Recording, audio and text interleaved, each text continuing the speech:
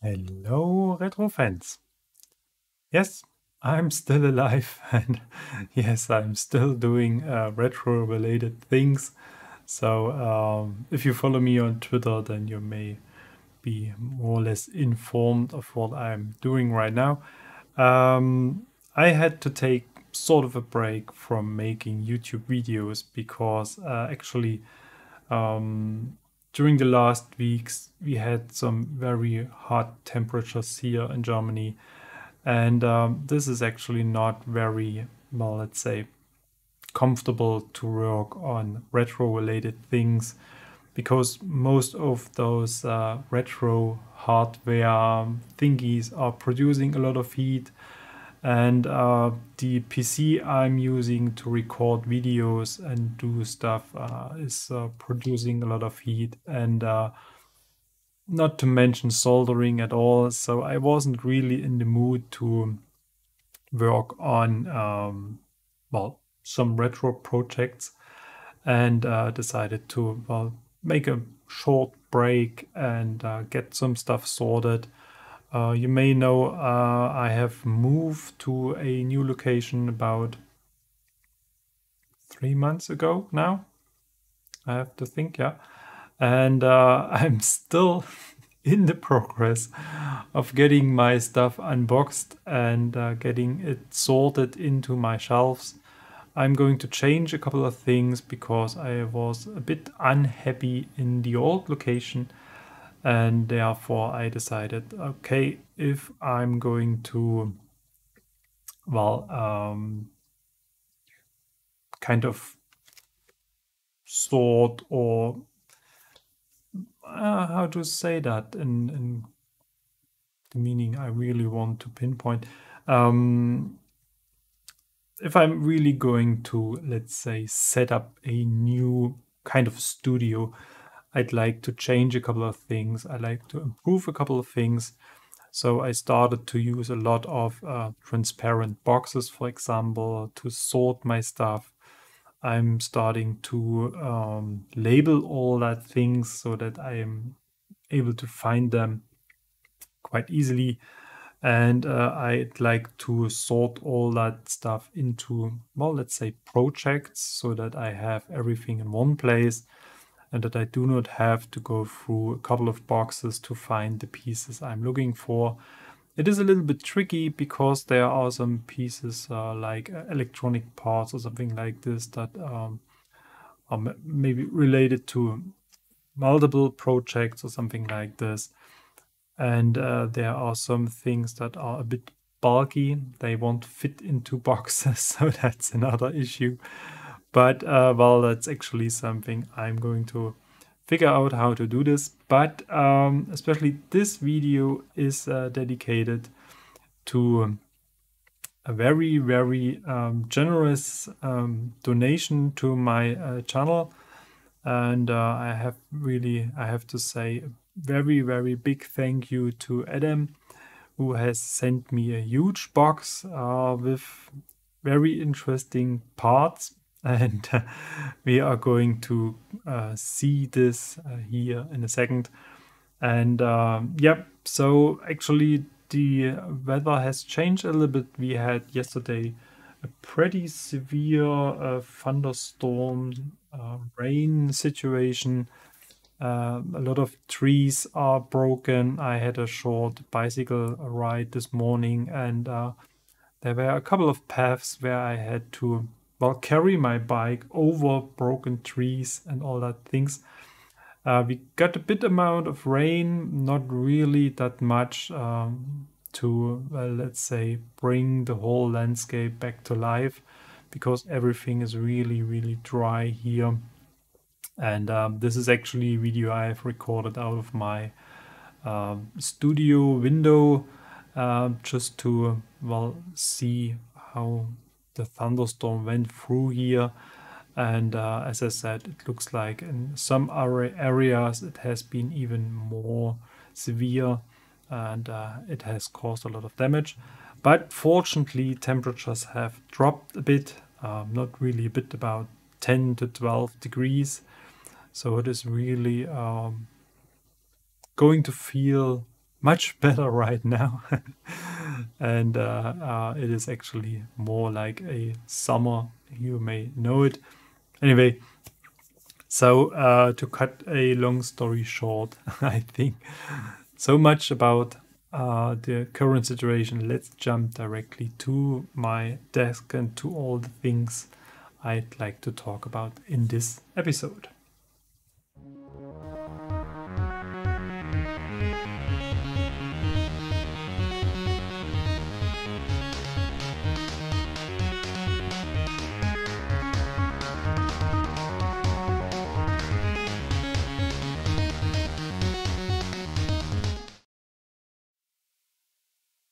And well, as usual, sort of, uh, we have a view on my desk already so that we can see what I'm talking about. And uh, let's switch this a bit.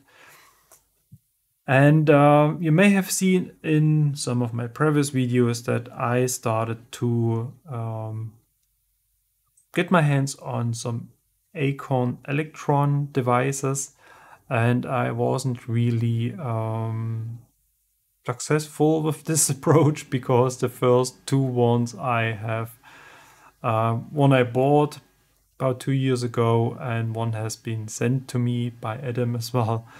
Uh, they they are broken, they are not working, and I started to try to repair one uh, already.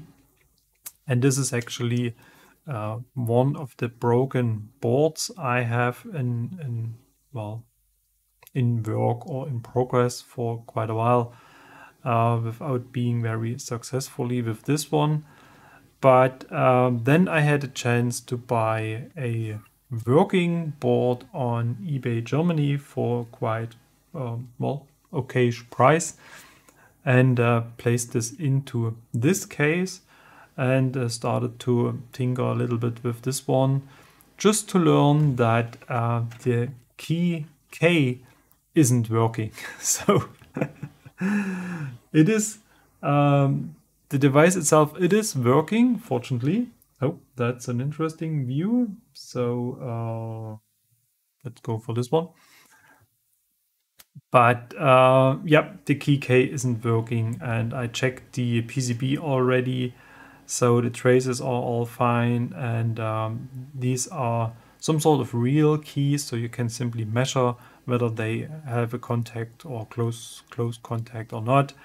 And the key K is dead, so I really have to disassemble that whole keyboard and see if I can find a replacement or if I can repair this uh, key so that I can uh, use this one. But uh, fortunately, as you can see, it is doing something at all, and I'm quite happy about this situation. And uh, thank very well, thanks to Adam, I'm not short on Acorn electrons right now, so I can move on to the next things. And um, yep, talking about the next things, um, let's make a bit some. Let's make some space. Yep, I think that's a good idea to see what's what has been sent to me. So, well, another Acorn, as you can see, and uh, it is in sort of good condition, I have to say. It looks quite nice. Uh, it has some um, yellowish keys, but uh, that's actually not really an issue because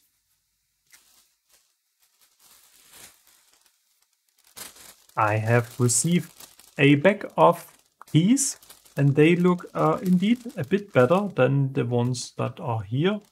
So I'm probably going to swap those uh, set of keys and uh, maybe I'm going to try some uh, retro writing with these ones.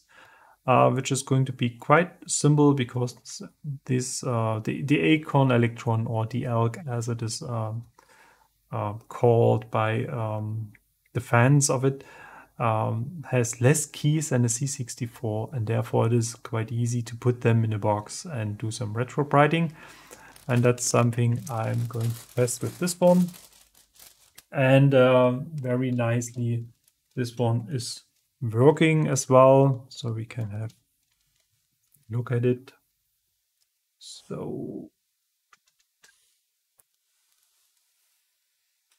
just have to find the right input and here it is.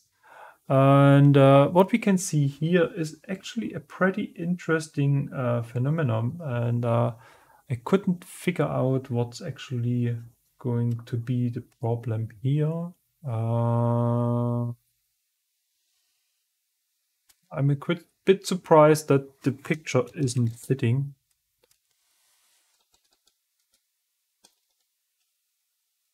So, well, I may have to change a few things on my capture setup.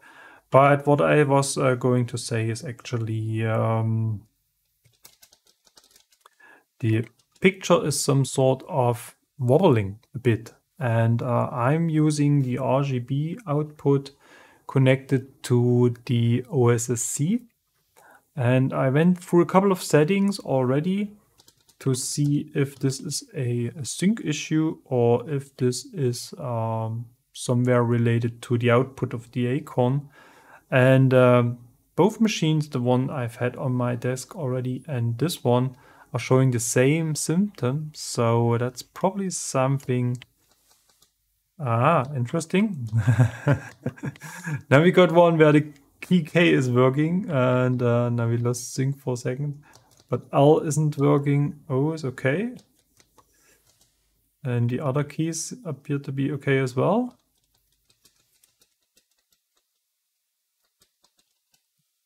Just have to pay attention that we are not going to hit break.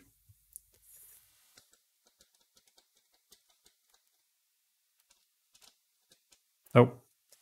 So there's really something going on with the uh, OSSC, which I may have to investigate a little bit further, uh, because it's a bit strange that we are losing sync all of the time here. So that's probably something I need to spend some time with it, and uh, maybe I can find the reason for this wobbling picture. And since this is going to be a little bit annoying, uh, let's jump back to the desk and uh, let's say move on with this content I have received. So uh, this one needs to is is requiring some attention as well. Well, that's uh, part of the deal, I think. And the next interesting thing is that um, Adam has sent me a board as well. And uh, interesting thing about this one is that this is a different revision. So this is a little bit like in the C64 world. So we have uh, different boards, different revisions or issues as it is called. And um, this one has some sort of an um, improved, changed, whatsoever called socket. So it's actually an issue for board like this one. But uh, as you can see, it is uh, using a different uh, socket for the ULA. And uh, I gave this board a quick test in the other case and uh, this uh, working as well. So this time we were able to move two Elks across um, the border between well UK and Germany without losing the functionality like uh, we've had with uh, the first uh, package I have received. So uh, I'm actually very happy that I have uh, basically three working boards right now and uh, somewhere in my boxes who knows where I have a third case as well with a broken board and uh, I'm probably going to put this one in the other case so that I have at least uh, working Elks in different conditions uh, because the main reason for doing so is actually that the Acorn Electron requires a keyboard connected to the board in order to start, in order to work And uh, it's not like uh, with the C64 where I'm used to kind of uh, having a board on my desk, just put some power in, video cable, and then I can do things with cartridges or whatsoever uh, without even attaching a keyboard. This isn't working for the uh, uh, um, Acorn Electron. So yeah, very, very nice to have this one. And it's always good to have some spare parts as well. So we can actually put this back into the box just to keep it there until I'm going to need this. And just in case something is going to break, I have received a power supply as well. This is actually a converter from uh, 19, 18, 19 volt AC to uh, the different voltages required in DC for the uh. So it's very handy to have one here as well in case uh, one of the other ones is going to break. And um, so I have a chance to uh, make a list of uh, parts, for example, and get some replacements already uh, just uh, for backup. And yeah, I have received a power supply as well um, with a changed cable. That's quite interesting. So uh, somebody spent already some time replacing the original um, feels like 10 meter long cable. so that's indeed a different one. And uh, I'm probably going to uh, change this one so that I get a switch in uh, or well in into the cable because as you can see neither the PSU nor the electron itself has a power switch. So you can simply uh, you you have to uh, unplug and plug it if you want to power cycle or something like this. And that's indeed a bit cumbersome and therefore I'm going to change probably this one to a switch version and I'm actually searching for replacement um, PSUs as well because as you can see it's an UK plug and in Germany we are not used to use them. so for every UK uh, power supply I'm adding to my retro setup I require to have an adapter. And uh, I was looking for, um, I don't know, how do you call this? It's a, it's a line of sockets with a power cord on it and power distributor or something like this from uh, the UK, but uh, the only one I could find on Amazon, for example, cost about 55 euros, and that's pretty expensive. So I can buy a lot of adapters, but uh, they consume so much space that uh, you waste a lot of uh, your capabilities of your power distribution. So that's something I need to address as well, because that's not the only thing that requires some power. I have received another piece and that's the Acorn data recorder um, called ALF uh, within the Electron community. And uh, there was a special reason or purpose I was really looking for one because it is designed in the very same way like uh, the Acorn itself. So if you just ignore video output for a while, and place them side by side, you probably see what I'm talking about. It is really like a uh, electron cut in half and added the tape functionality to it. And this is what I really love about this uh, tape recorder. Technically, perhaps it's not the best in the world, but uh, well, it is a tape recorder and therefore we are probably not going to be too picky and I really really love the design they have um, used for this one and um, unfortunately well yeah you can't place them side by side because as you have seen we have to connect the power cable and we have to connect the uh, tape cable on this side of the electron and then um, the data cable and the power supply is added to the other side of the ALF. But uh, maybe I can come up with something to route the cables in a slightly different way, just have some adapter piece in the middle or something like this. I don't know, some 3D printed things or something like this. And uh, yep, I started to tinker around with the ALF, uh, with the Acorn data recorder already.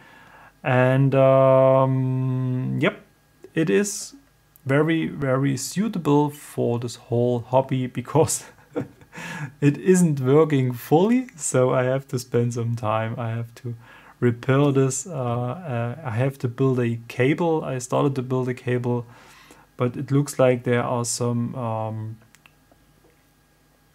different opinions about how the data cable is actually built for the Acorn Electron. And um, I was able to load a game once, uh, well, let's say I was able to load data once into the Acorn Electron, but then uh, it has stopped working by whatsoever reason, I have no idea.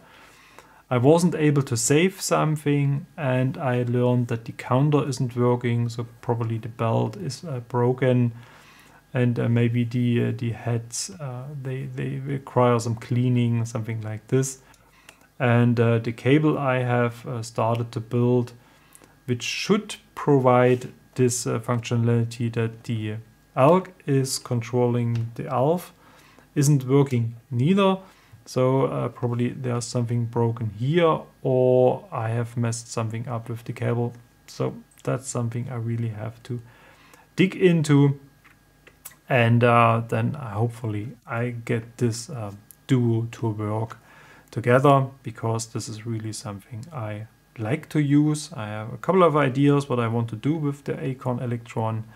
Um, it has a very interesting basic with a lot of functionality and uh, without uh, any blaming uh, compared to the C64.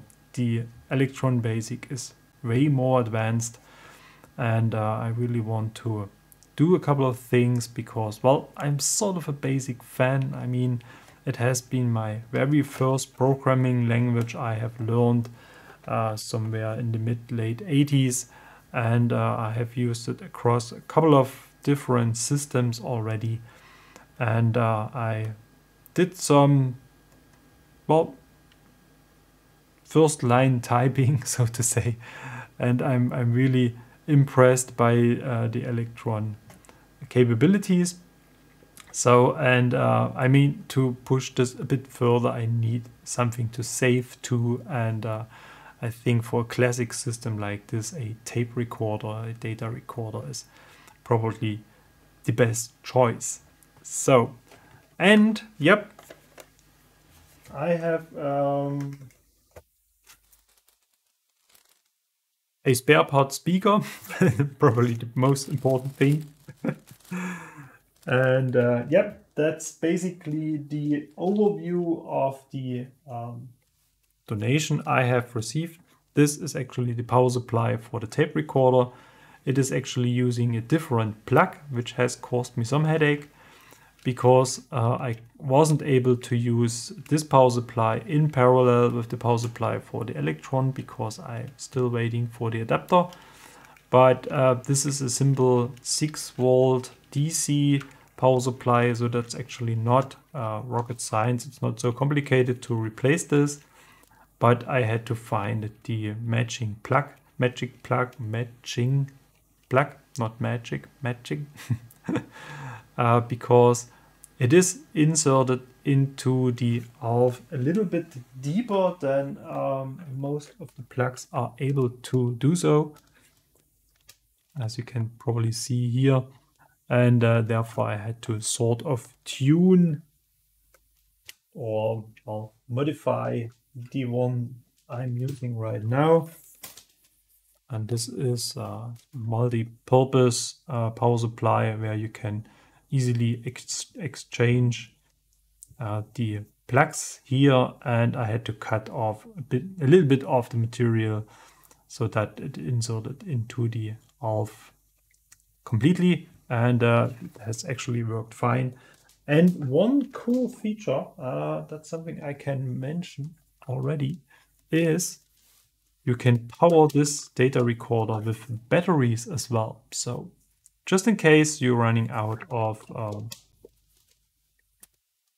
power supplies or something like this, you can insert four uh, batteries into this one and then uh, you some sort of off the grid. I have no idea how to power the Elk itself, but uh, probably I can figure out something.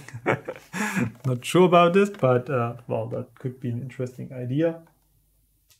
Yep, and that's actually um, besides some some tiny parts, some PCBs, and uh, some non-elk related uh, things that has been the content of the package I have received from Adam. So big, big, many, many thanks from the bottom of my heart.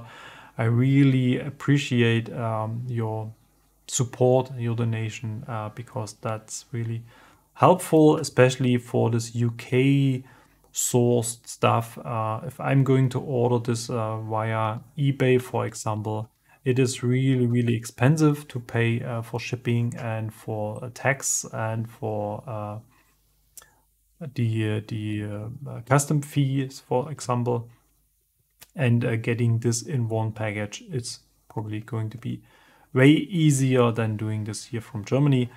And since the Acorn Electron wasn't so famous in Germany, it is a bit hard to get parts here.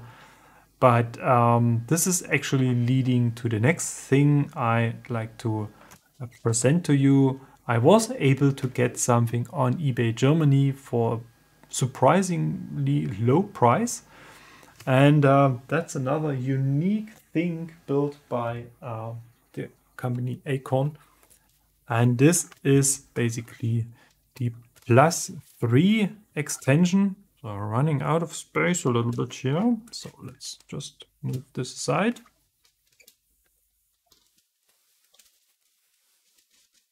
Oh. and um, it is impressive to me because on the one side we have this sort of tiny um, 8-bit computer, which is design-wise really something I love. And then you're going to add this huge expansion unit to it. and this renders this uh, little acorn a bit uh, almost as big as the Commodore C128. but um, yep, that was the way it has been designed and you have a 3.5 uh, millimeter uh, inch, sorry, 3.5 inch disk drive. And you got this whole disk drive operating system, the, the ADFS uh, system integrated here as well. I think it includes a memory expansion as well. I haven't checked this one. And um, yeah, it adds actually the opportunity or the capability to save and load data from disks. As you may imagine, it is not going to be this standard 3.5 inch HD 1.44 megabyte um, disk format. Nope, it is an older, simpler format. Uh, it's a double density disk, which I do not have right now. So that's actually something I had to order and I'm sort of desperately waiting for it. And the next thing I really have to work on is actually usually this Acorn Electron Plus 3 unit is delivered with a so-called welcome disk. And the welcome disk contains a couple of utilities which are really important for, let's say, day-to-day -day usage. And the most important feature of the welcome disk is a program to create disks for this drive. And uh, therefore you really have a situation that is actually a little bit challenging because I'm, I'm missing the disk and so I cannot create disks for the Acorn Electron Plus 3 unit because I cannot format them and uh, I cannot initiate them and uh, one way I'm actually trying to uh, address this is actually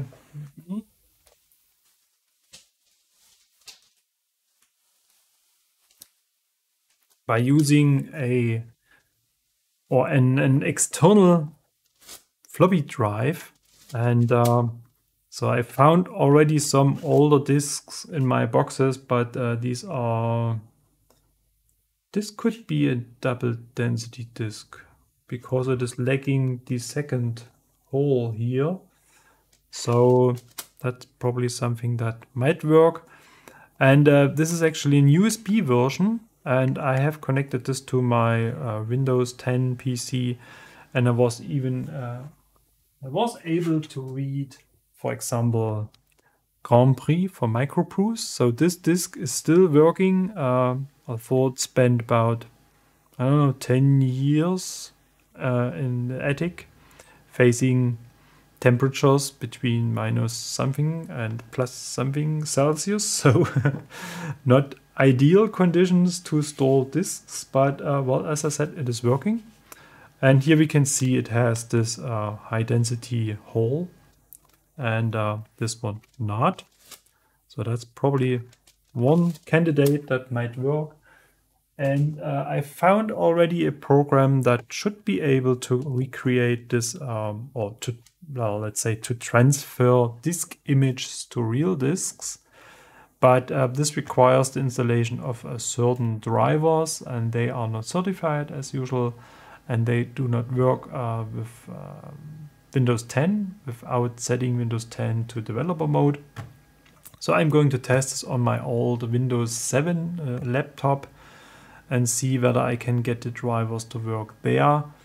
But the Windows version of this program, um, well, at least the README says that it is not working with USB drives. So that might be a quick shot I have made without really investigating if this is uh, the solution I'm looking for. But well, it was pretty cheap uh, on eBay. So I thought, let's give it a try, at least to read some older discs, which I had in mind as well. And uh, probably I get this to work. And if not, then I really have to find another way to create this welcome disk. So um, if someone of you is aware of somebody who has a welcome disk and is willing to at least uh, create a copy of it and uh, is interested in to send me this one, I would highly appreciate this. It would really help me to get this unit um, into function. I did a quick test. Uh, usually this unit comes with a different power supply, with a more beefier power supply. So uh, because the power supply of this is powering the Electron as well, and therefore it has to be a bit um, more powerful. But I did a quick test with the original power supply and uh, it has it, it came to life. It started to work. I was able to uh, create some some rattling noise on the disk side as well by trying to mount a disk, for example, without even having one. So it might work with the original power supply, but I guess it is uh, power-wise on the limit. It might it might kill the original power supply. So I really have to find a different uh, one for this unit. But as I said, I was really surprised to see this on um, uh, eBay Germany. And I was really surprised about the price. So I really had to go for. And uh, I'm quite happy that I got this one. And um, there is another extension, the plus one for the Acorn Electron, which I'm actually missing. I can't show you this, but there's some sort of a replica. and uh, people didn't spend that much time to build the replica in a way it was built back in the 80s, so they went for a different approach. And this is the ELK SD64 which is actually an SD um, device for your Acorn Electron, and is this is mimic uh, mimicking the uh, plus one extension. So you have your memory expansion, and uh, you can access the file system on this SD card so that you can uh, load images from the internet, for example, from the um, Electron archive or the, the Acorn art archive. And uh, you can use this to, for saving programs and loading programs as well. That's really something I have to figure out how this is going to work because uh, you mount sort of, uh, well, it is a, some sort of disk image you have to mount and then you can uh, use this one I just did some quick tests with this uh, to see if I can load something from it, if it is working at all. And uh, if the uh, data recorder attempt is failing or if the uh, plus 3 floppy drive attempt is failing, then this is going to be my fallback. Uh, it doesn't feel as original as intended. So I'm not sure why I'm so picky uh, in terms of the Electron, I want to have it like it was back in the 80s. Whereas on the C64, it can't be as modern as possible. where I'm adding FPGAs all over the place and uh, doing all that replacement stuff like uh, the Ultimate 1541 or even the uh, Ultimate 64 board, which isn't a C64 at all. I mean, so, but uh, yeah, for the elk, I think that's going to be uh, my main approach, but uh, we will see how this is going to turn out. Yep, and uh, that's actually basically the end of the video already. I mean, um, was more the purpose to show you that I'm still here, that I'm still doing retro, and it was the purpose to say thank you to Adam for all that great stuff. I really, really um, love this, and I'm I'm so thankful for all that things, and uh, so much fun to work with the Acorn Electron. And uh, yep, as I've as you have seen, I have to figure out a couple of things like uh, this video wobble, for example, why the ALF isn't doing what it is supposed to do and how to create disks with this unit. And uh, then we will probably see some more Electron stuff in the future here on this channel. And uh, well, if you want to stay informed about what I'm doing, then uh, feel free to follow me on Twitter. Uh, I'm more active there because it is much easier just to post something, to uh, make a quick tweet uh, with some photos or what's going on here in my studio. But uh, I think as soon as the weather becomes a bit more, well, bearable, I think I'm going to create uh, some more videos in the future as well. So, as usual, thank you very much for watching. And uh, if you haven't done so, feel free to like and subscribe and all that things. Feel free to support me either on Patreon, or here on YouTube.